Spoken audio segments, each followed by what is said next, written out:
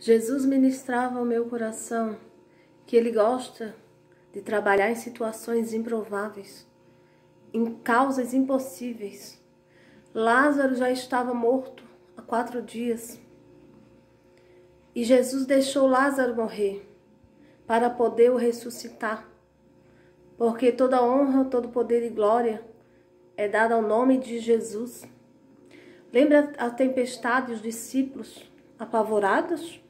Pensando que ia morrer e Jesus estava dormindo, porque Jesus, em meio à tempestade, ele está descansando. Ele está descansando porque ele sabe que ele é o dono da situação, que a situação, o poder está em suas mãos. E os discípulos apavorados, pensando que iriam morrer, e Jesus dormindo, Muitas vezes Jesus quer ver a nossa reação, se nós vamos ter fé e confiar nele.